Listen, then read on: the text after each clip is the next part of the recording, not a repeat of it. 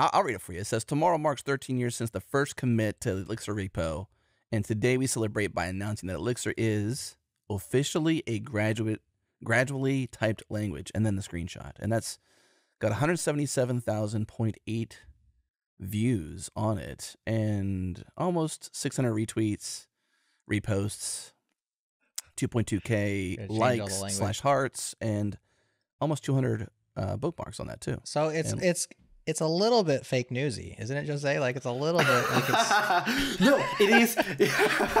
it is official, right? Okay. It's it's uh because so so so let's go a little bit into it, right? So so what does it mean, right? What does it mean that Elixir is officially Yeah, like gradually typed, right? yeah. So uh, before that, before that tweet, let's say, uh, Elixir was a dynamically typed language, and one of the ways that you can think of a dynamically typed language is that it's it's a statically typed language between quotes, right?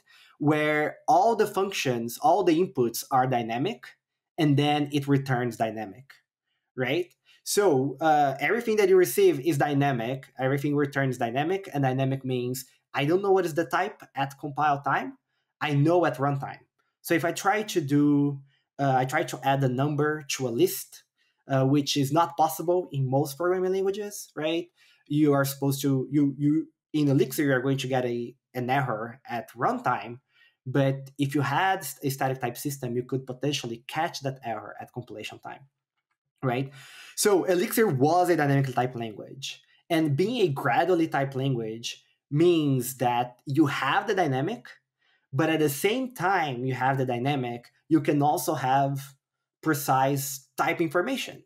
So what the tweet was saying is that, well, uh, instead of Elixir now seeing all the variables, all of your inputs as dynamic, now we are doing inference on your patterns and guards, which are very common in Elixir code.